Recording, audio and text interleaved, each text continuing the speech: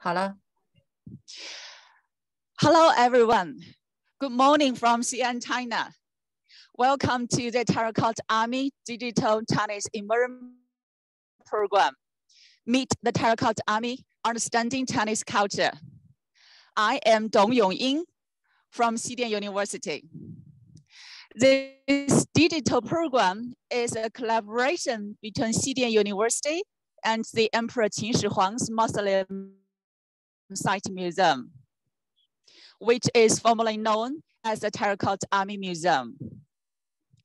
Sponsored by Shaanxi Cultural Administration, we provide online Chinese language courses and museum education programs to international students. Since 2021, now we have been working with uh, schools from the United States, Japan, Korea, and other countries. Right now, I am at the Emperor Qin Shi Huang's Terracotta Army Museum, Xi'an, Shaanxi Province, People's Republic of China. Okay, guys, do you know Xi'an City? Now, being an ancient imperial capital and eastern departure point of the Silk Road, Xi'an, formerly known as Chang'an, has long been important crossroads for people from throughout China, Central Asia, and the Middle East, and thus a hub of diverse ethnic identities and um, religious beliefs.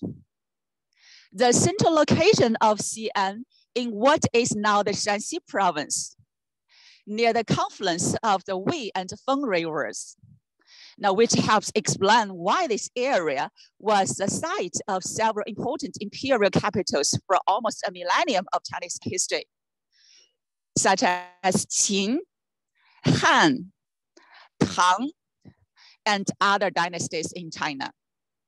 Now, among them, the Qin dynasty, which is from 221 BC to 206 BCE, is the first united Chinese empire. Qin dynasty had its capital just north of this current city, where the impressive tomb complex of the Qin Empire was discovered, famously containing more than 7,000 terracotta statues and spread over some 45 square kilometers. So this is right here, the Emperor Qin Shi Huang's Mausoleum Site. This site museum is a large on-site museum, which consists of two parts, the Terracotta Army Museum and uh, the first Emperor's Mausoleum Site Park. In the site park, there are many other burial pits and a newly built museum, muse Museum of the Bronze Chariots and Horses.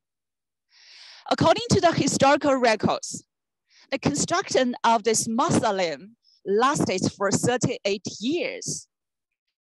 And about 720,000 laborers were involved in the construction project. The mausoleum of the first emperor is one of the largest tombs in ancient China. And he is the first and the only emperor to be buried with such a large number of burial objects. You know that discovered by chance in 1974, this group of more than 7,000 life-size terracotta warriors and horses forms only part of the elaborate tomb complex of the first emperor of China.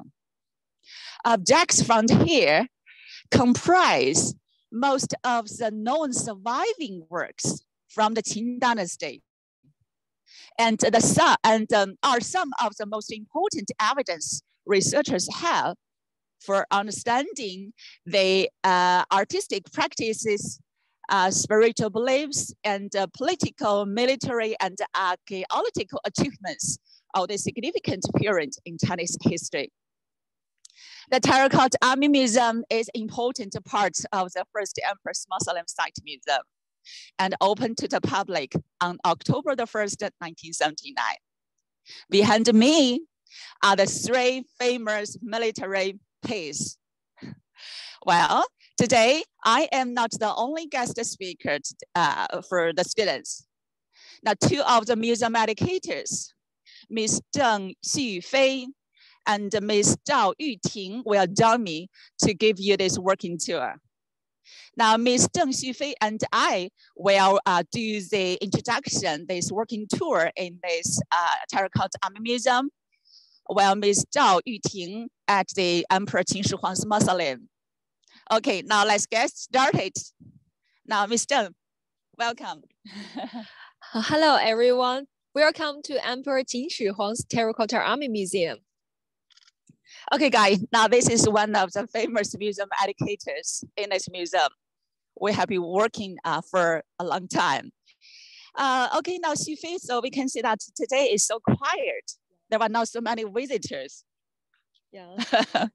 we know that, yeah, the museums are currently uh, closed due to the current regulations of COVID-19 in Xi'an.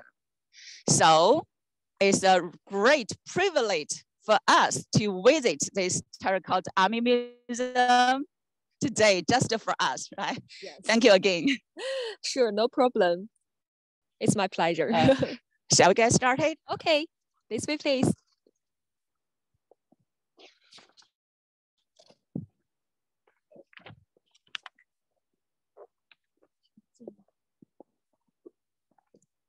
Guys, this working tour will last for about one hour during our visit. Uh, should you have any questions, please leave your messages in the group chat. By the end of the lecture, there will be five minutes for interaction. Now we can answer your questions directly. As I introduced, this site museum consists of two parts the Terracotta Army Museum and the Emperor Qin Shi Huang's Mausoleum Site Park, where the emperor's tomb, that is also called the mausoleum, is located.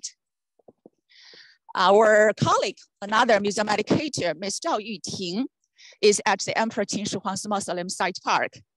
Now, at first, let's invite her to give a brief introduction of, of this great mausoleum. Okay, now Yuting, will you please introduce this mausoleum first, and then we will go to the burial case here.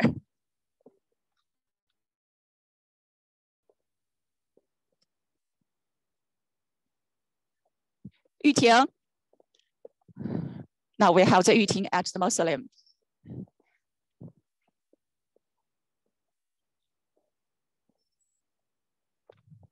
Hello, Yuting. Hello. Hello, is the voice clear? Yes, we can hear you. Oh, okay, okay. Hello, everyone. Here I am at the uh, First Emperor's Mausoleum Site Park.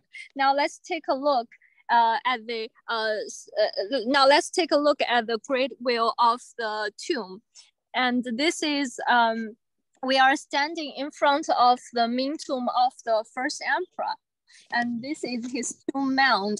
Uh, as we know, uh, the mausoleum of the first emperor covers a, a huge area, about 45.69 square kilometers, and uh, it took the first emperor 38 years to uh, construct the project.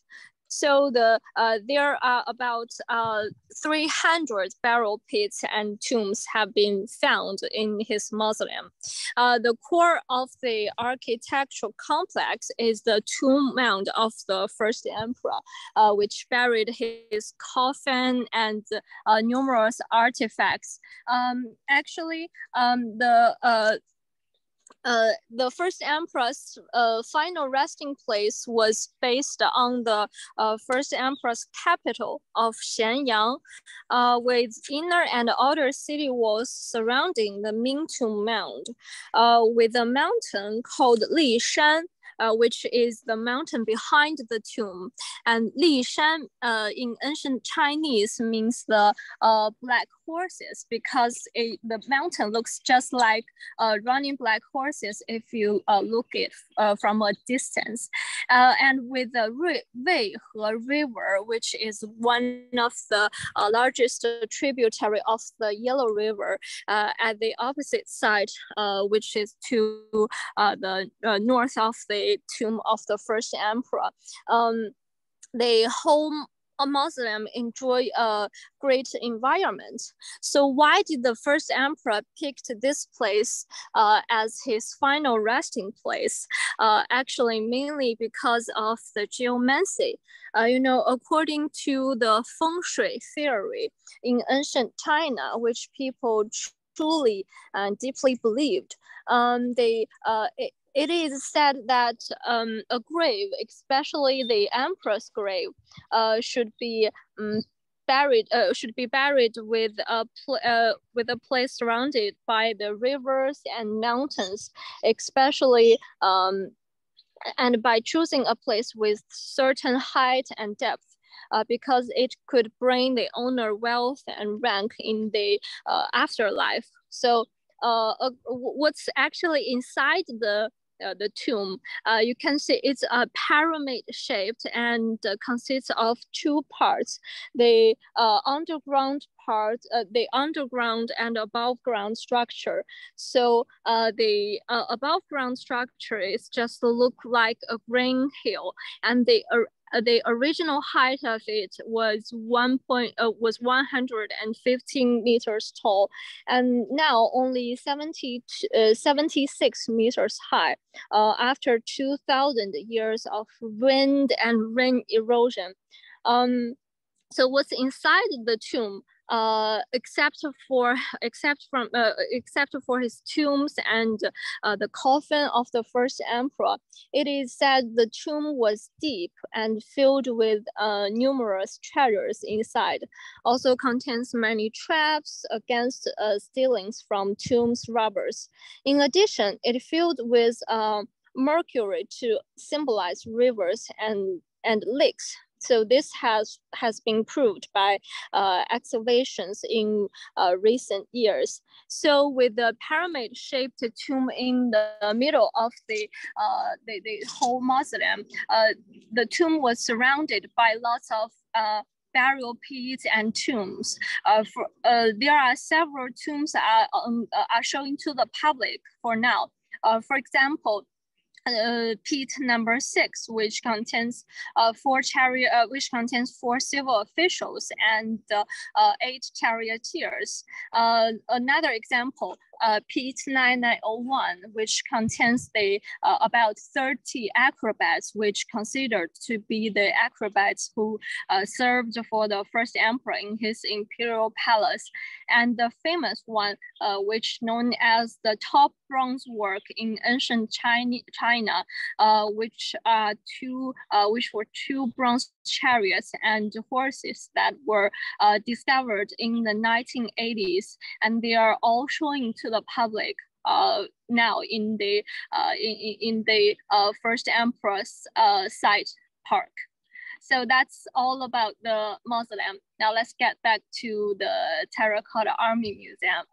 Hello guys, I'm here back to the Terracotta Army Museum. It is about 1.5 kilometers east of the first Emperor Qin's mausoleum. And behind me, this mountain called Li Shan and Li means in Chinese character means that the black horse and Shan means mountain.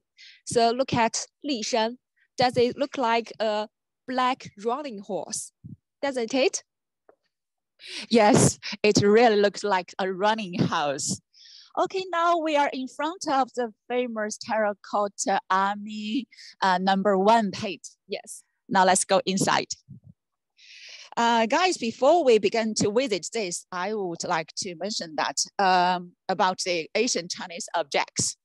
Now, objects from ancient China are, in the present day, often referred to as art. However, it should be noted that what is called art was not necessarily made at the time as fine art. Many of these objects had ritual or practical functions, were new, but gradually became valuable valued for their aesthetic qualities. So we can say uh, what these terracotta statues were when they were made. Oh wow, we are here. Imagine you are you are here, right? It is really splendid, Xufei. Yes. Now we are just standing in front of the pin number one, and you can imagine that thousands of the soldiers travel thousand years and stand in front of us and telling the stories in the Qin dynasty. It's very huge, right? And this pit covers a total area about 14,000 square meters and in the rectangular shape, and uh, roughly uh, the size of two football pitches. And uh, the whole pit discovered in 1974 when some farmers uh, uh, digging the well in such water. Yes, so the site of the wall is over there, right? Now, please, now our cameraman, can you just uh, show that front. site over there? Yes, in the front on in the, the left front. corner. corner. So thank to this farmer. Now we Mhm. had these great uh, terracotta statues discovered in 1974. Okay, Xufei, you just said that the site of this area of pit number one is about the two uh, size of the two football Yeah, two Uh, football pit. pitches. Okay, so how, I mean, what's the length and uh, width? Oh, the we, have to mention the, the structure of the Mm. pit here. And structure in the pit called the earth and wood structure in the shape of tunnel. And it Mm. seems like a big underground building is 2,000 years ago. And it- you can imagine that 2,000 years ago, the craftsman firstly dig a huge pit. And it is about 230 meters long and 60 230 meters long. Yes. Wow, and that is from the east to the back. Mhm. Mm. And 62 meters wide 62 si- uh, meters wide. from the south to north. Yeah, guys, now we are in the east of this pit, Mm. and uh, this direction is it, and the, the site of the well is uh, the south, in the south, on the uh, left. in the south. Okay, so from the south to the north is 62 meters long. yes, and uh, it is about five meters deep from the present level ground. So we are above, Yeah. uh, where we are about this pit that is five meters deep. deep. Uh, that is uh, from the underground is about five meters deep. Mhm. And uh, then 10 ramped partition wall were built and to divide the whole pi- pit into 11 corridors. Okay, so you can see that, guys. They uh, there were some walls in between these warriors, and they are called the partition walls. So there were ten partition walls, Yes. and divided this uh, pit into eleven corridors. So the soldiers and the horses, uh, they are now in the corridor. We call them corridors. Yeah. Yeah. They are all arranged in the corridor. Mm. And the floor of the corridors were all paved with the bricks, the Qin bricks 2000 years ago. Okay, they are just standing the place they were uh, in 2000 years ago. Wow. And also the partition wall was a major force to support the wooden roof on the top of the wall. Uh, so uh, after they built the partition wall, then they will cover the cross beams to be the roof. Okay, so we can see that there was some traces of the uh, cross beams. Yes, I yes. say those it's, they uh, they were uh, just covered uh, Mm-hmm. by the earth and uh, And mass. as a mask. So this is the underground building, and also on the both sides of the pit, there is a uh, there are five sloping roadway. Uh, that is sloping uh, sloping roads. road. Sloping roads. Yeah. Uh, now, sloping roads mean that they uh, just help to, to carry these warriors and uh, horses uh, into these corridors. Yes. and after they were carried here, and the sloping ways would be Sealed. sealed. Mhm. Mm. So this is the underground building of the terracotta pits. And Oh. uh, yeah, and also look at uh, all the figures. Uh, they are just like the real the, the real size, the life sized. Their average height is around 1.8 meters high. 1.8 meter, that's about five feet and nine inches. Yes. So were the were Qin people tall and big 2000 years ago? Actually, the height measured uh, from the, the, the top of the knot and to the bottom of the pedestal under the, uh, the portrait figure's feet. So uh, their original height is around 1.6 meters. Uh, that is around uh, five feet, uh, four inches. Uh, okay, so that is still lo- uh, tall. Yes. So that is why we call them the life-size statues. So imagine, guys, there were about 7,000 life-size statues in this museum. That's really magnificent. And uh, Xufei, now you just said as the soldiers, now they were just made uh, during the Qin dynasty. So pit number one, we can say is a military pit. Now, what is the battle formation arranged here? That's a good question. the formation in pit number one consists of four main parts.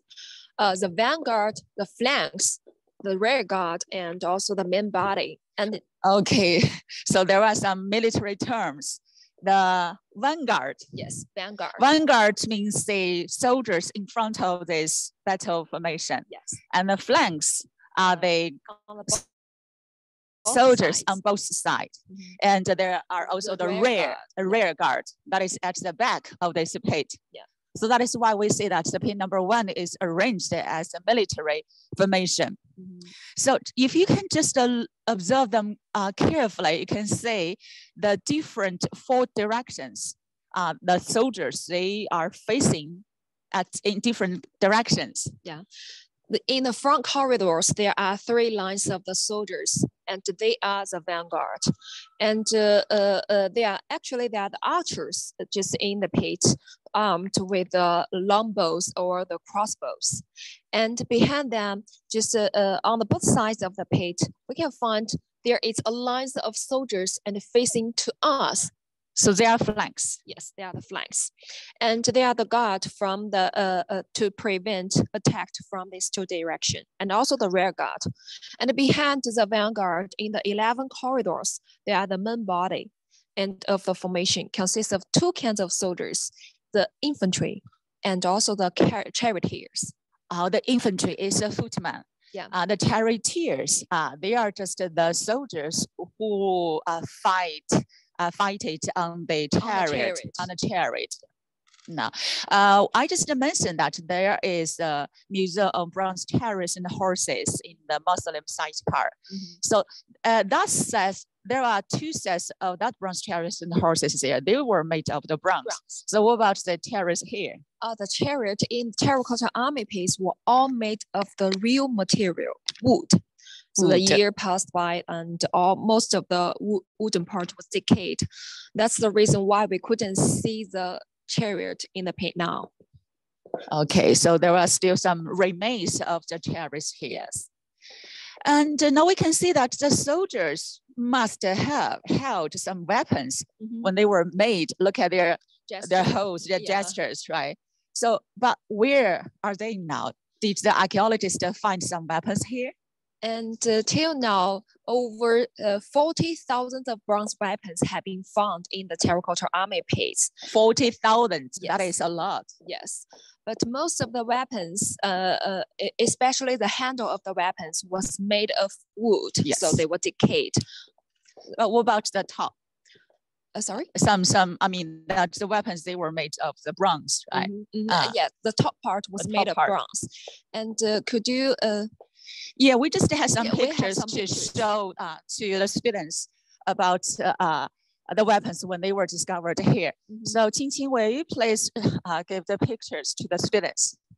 Now, while the students have a look at these pictures, now we can invite Xu Fei to give us some introduction about these weapons. There are Yeah. different kinds of the weapons, right? Yes, according to the different function function and the, the weapons were divided into three types: the long shaft weapons, the short weapons, and the long distance weapons.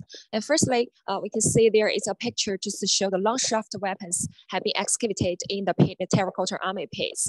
And we can find some some uh, familiar long shaft weapons, the halberd and the spears, and most of them was just armed by the infantry and charioteers. It- can uh, it can use to uh, spear and also cut. And also the next picture, we can find some short weapons. There is a very special one, uh, the bronze hook. Uh, it is in the shape of the crescent moon, and uh, the top is flat. And on the both sides of the uh, the, the hook, uh, there are blades and can use to cut and hook. And till now, only two bronze hook have been excavated in the pit. And the next one is the very famous bronze weapons, the Qin sword. Sword, Qin sword. Yes, Mm. the bronze sword. Mm. Until now, only 24 bronze swords have been found uh, in the terracotta army pits. And uh, uh, it was not only used for the close combat, and also it's the symbol of the status that in the Qin dynasty. Wow, that's uh, really uh, in details about the introduction of the weapons, right? Uh, the long, long, Shaft uh, weapons. long shaft weapons and uh, the the short, weapons, short weapons. and also the long range weapons, the picture of the triggers, and also the bronze arrows. Wow. Okay, now we uh we can see that there are just uh, the different areas in this page number one. Yeah. Uh, so we just had the warriors who had been restored and uh, uh, conserved over there, right? Mhm. But what about this area? Uh, this area is the still haven't been excavated.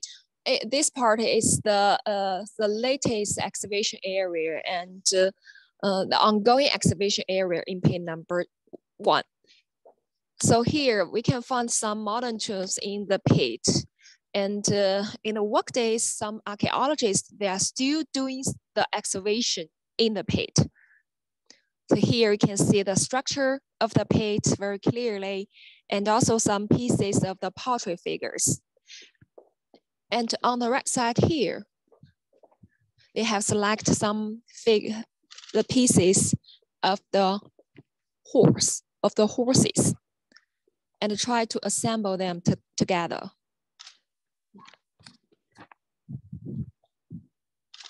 Okay, so these horses, they are uh, in the process of restoration. Yeah. So this leads to our last part of this pin number one. Now, guys, please look at there. Now we just had a relic hospitals over there. That is uh, our next uh, virtual field trip. The relic hospital of the Terracotta Army, uh, the pin number one on-site restoration. But now you can see that now this is the area just for restoration. So here you can find thousands of the pottery figures, and most of them were just finished, restored, and ready to be back to put back uh, in their original place in the front part of pin number one. So they are waiting to be ready to be put back where they were from. Yes.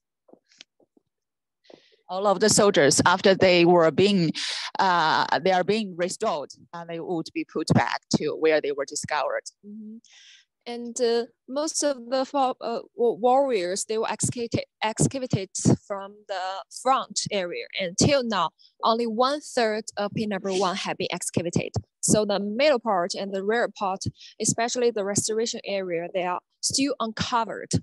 And still are some pottery figures buried underneath. So the, the excavation is still ongoing. Yes. Okay, so for this uh, next uh, uh, field trip, uh, we have invited the famous uh, restaurant conservator, Mr. Lan Desheng. Now he will introduce the process of how to restore uh, the terracotta statues. So don't miss that. And uh, this is uh, pin number one. So we can see that this is the underground military for Emperor Qin Shi Huang. But guys, have you wondered, do you wondered now where the commanding officer is? If it were a military, right, is um, uh, there are so many soldiers. So where is the commanding general? That's she a she can tell. Uh, we will just, uh, I, I will answer you in the next page, page number three. It is the commander which headquarter the whole underground army. So we are heading to the pin number three. But you might you might have the questions and why the uh, pins were uh, they were just named by numbers. Yeah, Now, Uh, can you? the pit number one was discovered in 1974, and after after the excavation, the archaeologists uh, digging around and then found the other two pits only 20 meters and 25 meters uh, north of the pit number one. And uh, then, and this pit, these two pits were, uh, was just named by the order of their discovery. So pit number one, two, three. So there's three military burial pits. They are close to each other. Yes. The pin number three just right after this pin number one. Yes. And we are heading to pin number three. Yeah. And you can find the answer to our previous questions, Mhm. where the commanding general is. And when we just walk to the pit number three, and you will find some characters just on the tip light of the pit. That is the characters they used in the Qin dynasty when the first emperor unified the whole China. He standardized the, the written scripts, the small seal script. Qin small seal script. Yeah. And uh, you can look at the template of the characters uh, from the right to the left.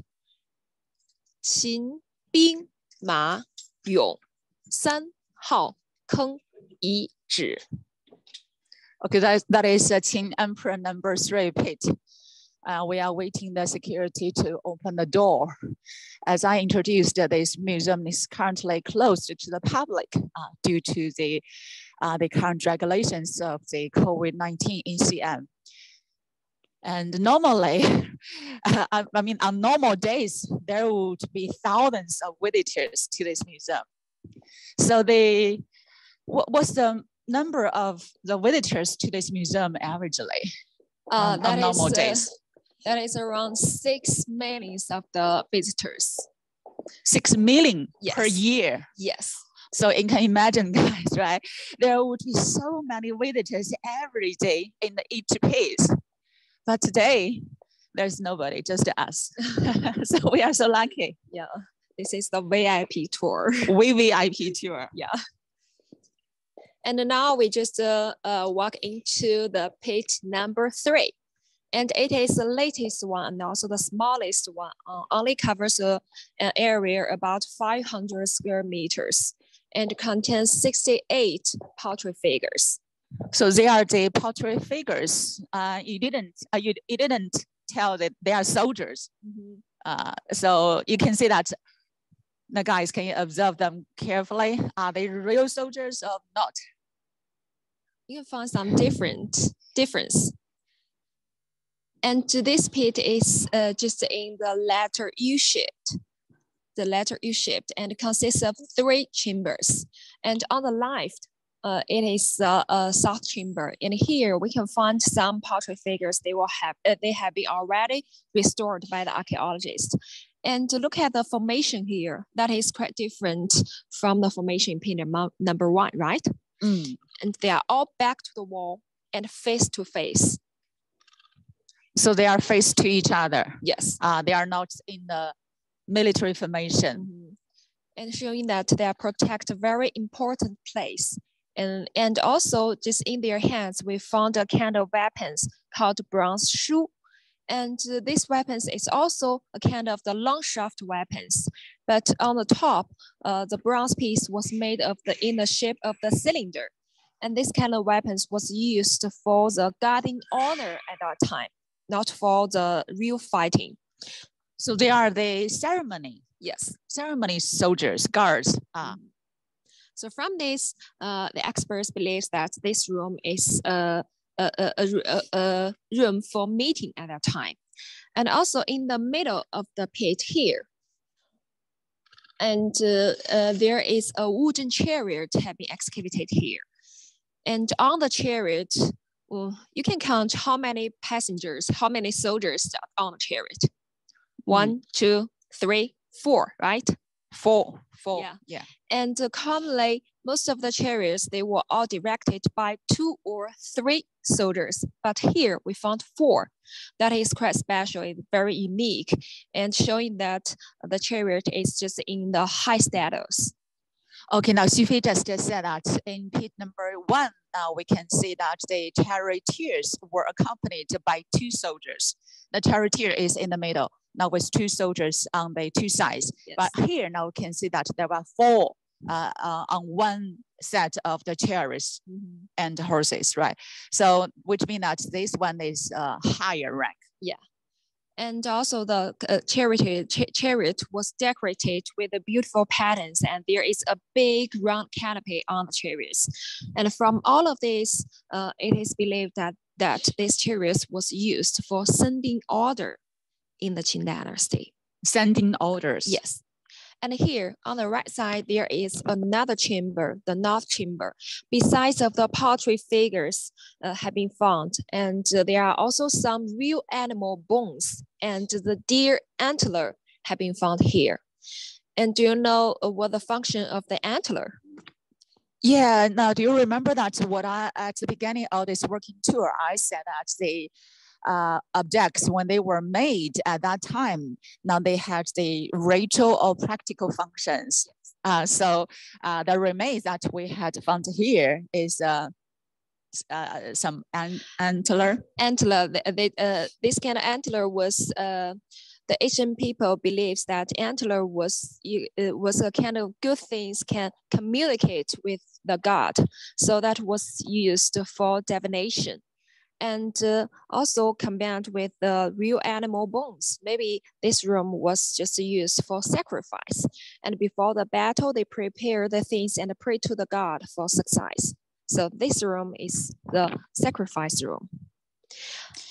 Okay, now uh, there is another artifact uh, that had been found here that is for helping to move the tools, right? So there is no uh, findings. Uh, there's, are not the uh, soldiers on the battlefield, and uh, and also according to some other evidence found here. So this pit, now according to the arch- archaeologist, uh, now could be regarded as the heading, uh, headquarters, Headquarters. headquarters. Yeah. Uh, so now we can see that pit number three is most likely the uh, command center uh, Mhm. of this entire army. But no figure of the commanding general had been found.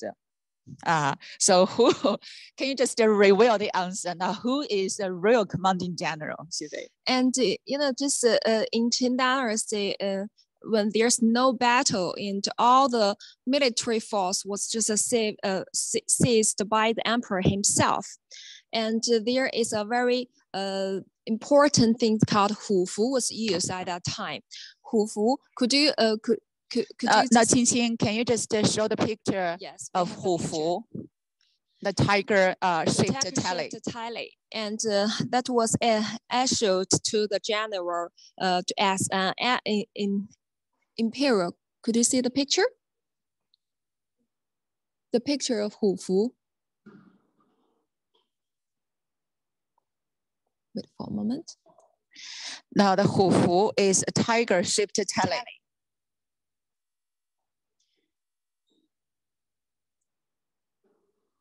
Uh, the tally would be divided into two Two halves. Uh, and that was used uh, to uh, to the general as an imperial imperial authorization, which was used to to the troop to the troop to the troop movement in the Qin dynasty.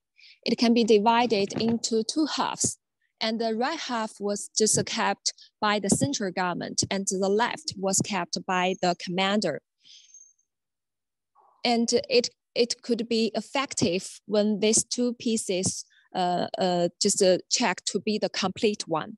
And after the battle, into the general, uh, the, the, the commanding general should return the right half back to the central government. And from all the excavation uh, just in these three pits, and we can find that all the soldiers, they are ready for fighting. So maybe the first emperor and he is the real commander, the real general of the whole underground army.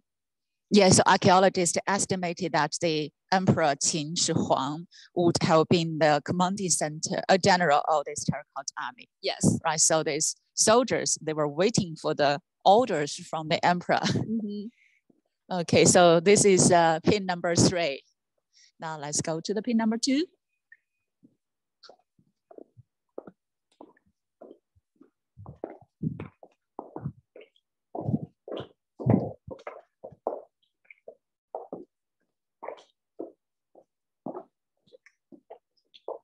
So you can see how close these three pieces are to each other. Yes, only 20 and 25 meters.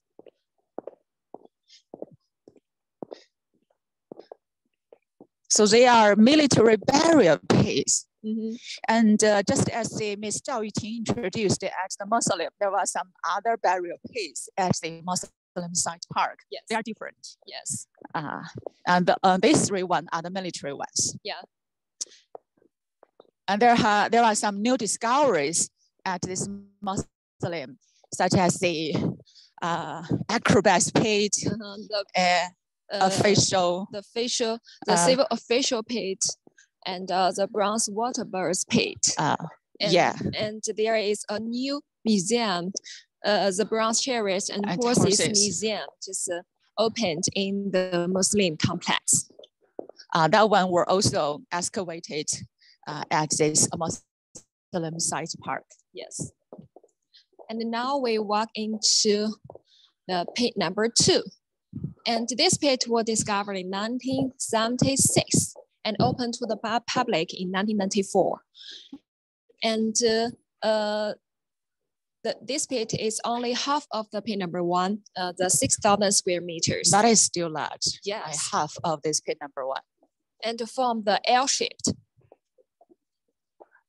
I had been to this museum for hundreds of the time, but this is really uh, the first time that uh, we are waiting for the uh, guards to open the museum, to open the pits for us. That is really great privilege. Okay, so you can just uh, have a uh, have a general view of this bit number two. It is hard to to I mean to get the information by yourself um, but we just had a layout here. Mhm. So this can help to explain the formation, the layout of this pin number two. So Mr. Zhang Kai, can you just, just show this layout? And now uh, this is the position. Now we are here. And uh, according to the excavation work, we have found this pit is quite special. And uh, we have found the more complicated and more complete military force in this pit and consists of four different battle formation. And here we are facing to the biggest formation, the charioteers formation. It is in the square shaped and there are over uh, 64 wooden chariots have been excavated here. And uh, this one is the mixed formation. The formation is similar to the main body in page number one and consists of the infantrymen and the charioteers. But at the rear part of the formation, we found some uh, cavalry, the pottery ca- cavalry. And here, this is a cavalry formation and the fall of the cavalry with the horses together. And but they are not ri- riding on the horse, but standing beside the horse. And this one is the archer formation.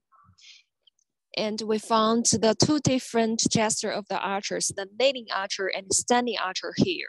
So this four battle formation, they can fight uh, just a, a single line and also can fight a combine together to fight. That is the difference between the pin number one and pin number two. So we can see that these four battle arrays make up a flexible military unit Yes. on the battlefield. Mhm. So they could either act in coordination as a single unit or separate into individual units, depending on the situation and the geographical context. Yeah. But most of the pin number two are still uncovered, so we can find the big remains of the beams on the top of the wall. But there were some stars, Mhm. some objects, uh, we call them stars. Now they were just uh, uh, covered, uh, unearthed from the pit number two. Yeah. Now let's go there. And this is the corner of the restoration of pit number Yeah, two. this is another restoration area. So which means that the workers, the staff, they are working here. Yeah. So uh, the visitors can see that what are they doing in the pit.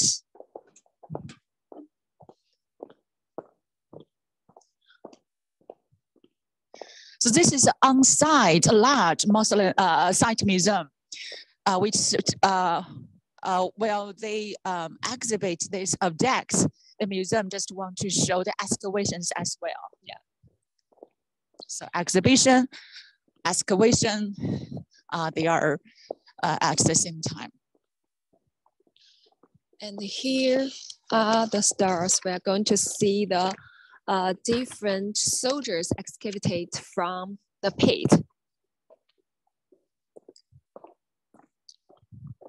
We can get, get closer to, to see the soldiers and the officials excavated from these three terracotta army pits.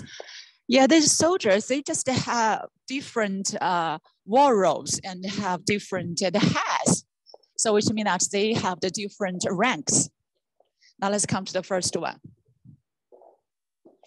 Now, guys, now will you please observe this figure and uh, just uh, trying to find out uh, the details and let us know what you have think. You can type your answers in our group chat. You can use the elements of art. What's the position of this figure? Do we get answer from these students?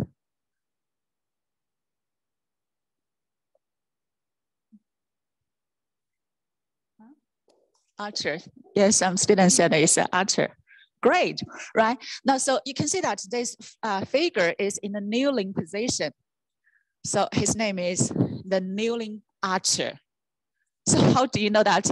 Now this is an archer from the position of his, fan, uh, of his hands. Correct. So this kneeling archer now was discovered in pit number two. The archer is in a kneeling position with his right hand, uh, with his right knee on the ground and his left knee raised. His right arm is held with his hand opened, while the left arm rests on his raised left knee. So the posture of this statue suggests that he originally held a crossbow in preparation to shoot. So together with a standing archer, now they make up the Army's archery formation uh, in this pit number two. And kneeling archers are in the center of the formation, while standing archers are placed around them. So now let's look at these archers caref uh, more, uh, I mean, in details. So you can see that this archers wears armor. The stacking of the armor pieces meets the requirement of the actual combat. Now you can you find the difference of the stacking of the armors. Uh, at first, uh, for the chest, pick, uh, chest piece of the armor, for the chest, uh, we can see that the top piece stacking the down one. The abdomen is in the opposition direction, same uh, in the arm armor. So we can see that the design was reasonable to have archers to move freely, no matter bending, expanding, uh, expanding the chest or raising the arms. Now let's look at his hair. You can see that the soldiers, all of the soldiers, they just had long hairs. Have you ever wondered why uh, the soldiers, they had long hairs? You know that in ancient China, uh, we can see that uh, they, the long hair and the skin, uh, we saw that they were a gift by the parents. So the long hair is a way to show the respect to parents. So we can see that the way of the braiding and the knot of the hairband are highly detailed. Okay, that is uh, the top, right? Now let's come to the shoe.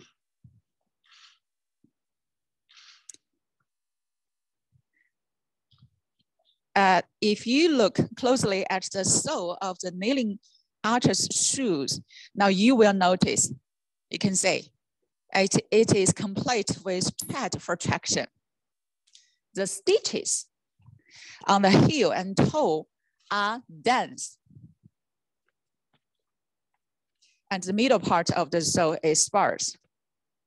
So we can see that it provides for greater traction when walking. Now this kind of shoes, uh, we also made today uh, this kind of shoes. We adapt this method. So which is labor saving and wear resistant. So this is one of the stars here. Now his name is the kneeling archer. Do you have any questions?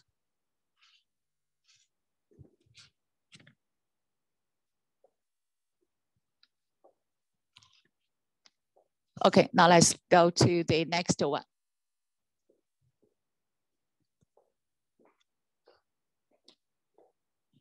Okay, guys, the next one is an officer excavated in the terracotta army pits. So firstly, please observe these portrait figures and find the differences between the uh, officer and the kneeling archer, the common soldier we have found in the pit.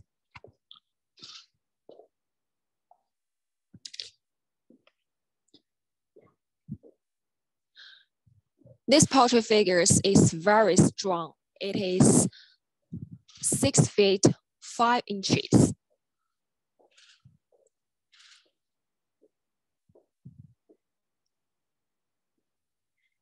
And look at it. Look at him. We can find that he is wear a beautiful headgear, the pheasant feather headgear. It is decorated with a bird's feather called he, and this kind of bird is very good at fighting. So this kind of pheasant feather headgear is a kind of symbol of the status of him. And also he wears a different armor compared with the common soldier. He wears a fish scale armor and probably made of metal at that time. And under the armor, he wear two layer of the long robes.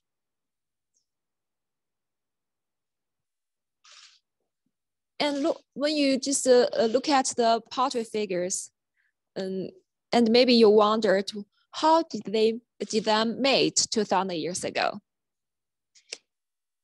And all of the portrait figures, they are different parts of their body that made separately with the molds firstly, and then grave the details,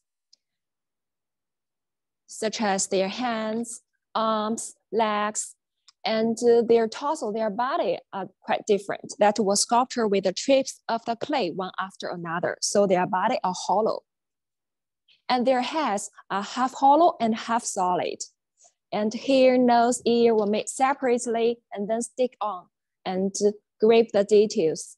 For example, look at the high ranking officer's forehead. We can find some wrinkle on his forehead, right?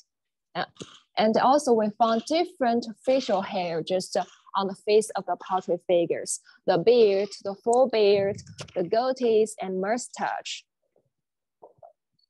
And compared with the common soldier, could you find some difference and some change among these two figures, the common soldier and the uh, official? He's elder and stronger, right? And in the Qin dynasty, there is a very popular meritocracy military system and uh, which can just encourage the soldier to be brave in the battle and the more enemies he kill and higher ranks they will get. So we can find the high ranking officer, he's more experienced. This is the middle ranking officer. The rank is lower than the high, high one. So they wear different hats. Yes. Now let's look at this one. Can you say this one? Now does he wear the hat? No, hat. Now in Chinese, we have the guan, Mhm. right? And this is the cavalry excavated from the pit number two. Cavalry, that is a horseman. Yes. So we can see that there is a soldier. Now he was holding his horse, Mhm. cavalryman. And look at the uniform. That is quite different from the common soldier. He wear a leather cap, a leather hat, and a shorter armor, and also the boots, the leather boots. The uniform can let him just move freely just on the horse.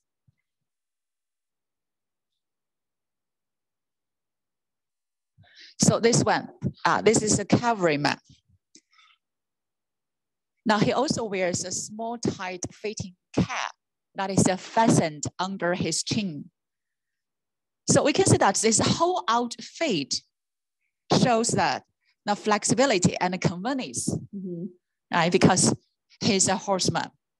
Uh, now if he just wear the long war robe and the heavy armors, it would be hard for him to jump on the horse. Yes. And also look at uh, uh, look at his height. Now we know that it was written uh, in uh, one of the ancient Chinese books, that is strategy book on the Han Dynasty about fundamental rule to select a cavalryman. Now he needs to be taller than se- 1.73 meters Yes. uh, and also be very strong and agile. Uh, otherwise, no, he couldn't jump up On the horse. yeah, on a horseback. So look at his cavalryman. Now we can see that he is about 1.8 meters. Uh, that is five feet and nine inches tall, and uh, he's really strong and uh, handsome, right? Yes. like a really experienced cavalryman. Mhm. And also look look at the, the his face. We can find some original colors. Yeah, to talk about the colors, we just got the questions from the uh, students. Uh, they asked what about the colors of the warriors. Most of the warriors, they had the green colors, but some do have some uh, different colors. So what happened and what's that? Where was the colors gone? Actually, when these pottery figures were excavated, they're all colorful. And we have some pictures. Can just see in the chat rooms the colors of the pottery figures. And they all have the black hair and pink skin and wear the black armor. And under the armor, they wear the very colorful uniform. But all of the colors, they are on the surface of the pottery figures and all painted after they were baked in the oven and uh, they were all just experienced uh, both the the human dis- uh, destruction, de- destruction and also the nature decay. So they became very sensitive and fragile.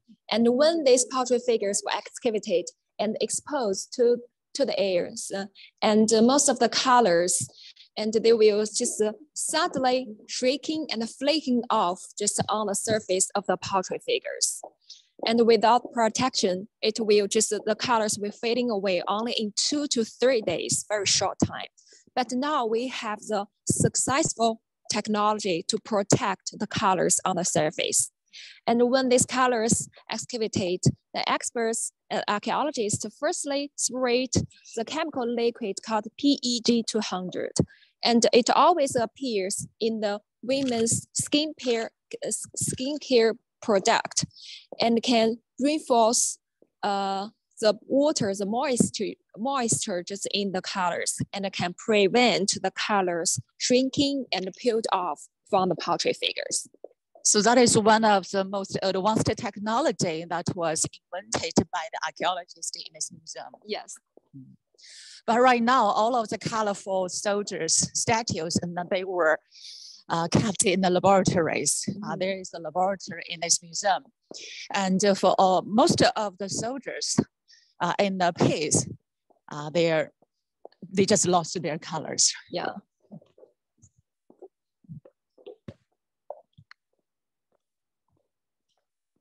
I'm not used to the quiet museum. Usually it is so crowded. Okay, guys, do you have any questions? You can type your message in the group chat or you can just talk with us directly.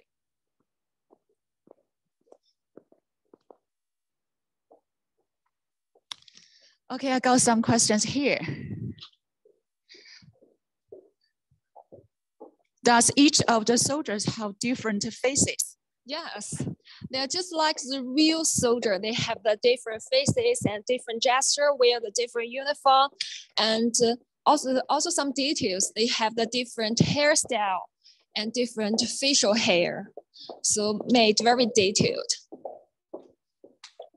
It is um, realistic impression of this uh, army. Uh, it is realistic. Another question? Were the figures painted when they were first made? Yeah, Mm. and uh, all of the portrait figures they were uh, made after they were just baked in the oven. And the craftsman will paint firstly paint a layer of the lacquer to be the base, and then paint the different colors on the different part of their body. And after they were finished, they were all colorful, just like the real people. Yes, another question is what did the emperor think that all the soldiers would do, that they would protect him after he dies. That is about the, our Asian China's belief. Mm-hmm. So can you explain that to us? The Asian Chinese they believe that when a person's life ended, their soul and spirit lived on in afterlife. So that's the reason why the first emperor just wanted to bring everything with him just in his afterlife. This huge oh, underground army was used to protect his mausoleum in the underground world. So that is in Chinese is 事死如事生. Uh, 视 means serve, serve the people uh, when they died as if they were alive. Yeah. Okay, so Emperor Qin Shi Huang wants to have everything with him in his afterlife, not only the soldiers, yes. uh, but also the other, other uh, objects, including the officers, uh, the uh, The- the bronze chariots and the horses, the the, civil birds, uh, the civil officials, the acrobats. Yeah. And so the new discoveries, next time you, if you have the chance to come to visit this Terra-cotta Army, don't miss the new discoveries in the mausoleum site park. Okay, how long did it take to build them? 38 years. yes. Yeah, when Emperor Qin Shi Huang became the, the king, now before he became the emperor, he was a king, right? When he uh, succeeded the throne as a king when he was nine years old, Mhm. now he began to build this mausoleum. So it took about 38 years. And um, who made these soldiers? Oh, that's a very good question. Actually, we have some pictures to show the craftsmen who made the portrait figures. Uh, and yeah, Qingqing, can you just show the pictures with the characters inscribed on the figures? Yeah, we have some found uh, have some some uh, characters just uh, on the surface of the portrait figures below their robe on, on their chest. And this character shows that the craftsman's name who made the figures. So we can find some pictures. And uh, the single character that that is a craftsman's name. Can you recognize? The de and chao that is the name of the craftsman who made the figures and also some other uh, uh, uh, characters with two. And uh, uh, for example, Gong, Cang. And Gong is a uh, premixed character just to show that where he is from. Gong means palace. So some of the craftsmen, they work as the come from the, uh, the government workshop, but others such as Xianyang, Yi, and Xianyang is a place name that shows that the craftsman was just uh, come from the, uh, the, the the workshop, the local workshop, and uh, uh, and Xianyang is the capital of the Qin city. Okay, that's great, right? So are there any plans to restore colors? Yeah, we, have the successful technology to protect the colors now. Yeah, so uh, for all majority of these warriors, when they were discovered in 1974, now due to the lack of the technology, all of the colors were unfortunately faded away.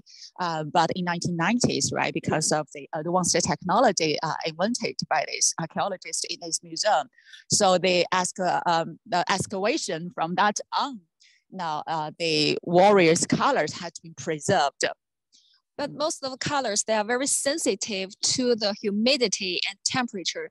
So the colorful portrait figures, they were not uh, just displayed in Yeah. the page. They were just uh, protect in the lab.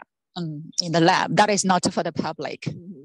Uh, okay, are there any women buried? so there's no woman buried here, Yeah, right? Yeah.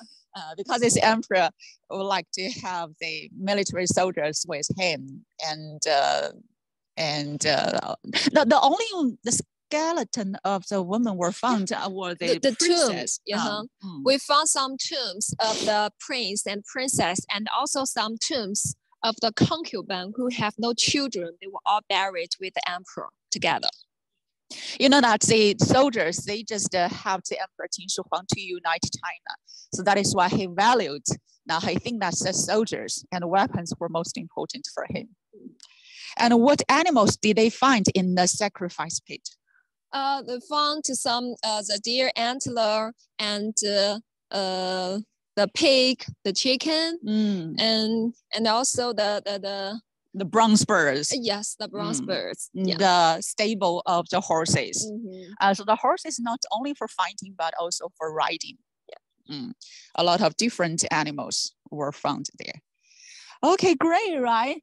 Now, thank you for your questions. And um, it's really a great pleasure to give this online lecture to all of you. Now, thank you for watching. And uh, our next uh, virtual future will be next uh, Friday evening at the same time, the same uh, Zoom number. And um, thank you again. Thank you, Xufei. My pleasure.